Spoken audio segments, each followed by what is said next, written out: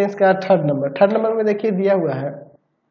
दिया हुआ है यहाँ पे, x माइनस थ्री इंटू में टू एक्स प्लस का वन इक्वल टू में x इंटू में x प्लस का फाइव यहाँ पे देखिए क्या होगा मल्टीप्लाई करेंगे तो। टू एक्स स्क्वायर प्लस का x माइनस का six x minus three equal to में आ जाएगा एक्स स्क्वायर प्लस का फाइव एक्स यहाँ देखिए हो जाएगा टू एक्स स्क्वायर माइनस का फाइव एक्स माइनस थ्री इन दोनों को इधर आते हैं। माइनस का एक्स स्क्वायर माइनस का five x equal to zero यहाँ आ जाएगा एक्स का स्क्वायर माइनस का यहाँ पर हो जाएगा टेन एक्स और माइनस थ्री तो ये द्विघात समीकरण है ना जी? हाँ बिल्कुल यह हाँ द्विघात समीकरण है। चलिए, अब इसका हम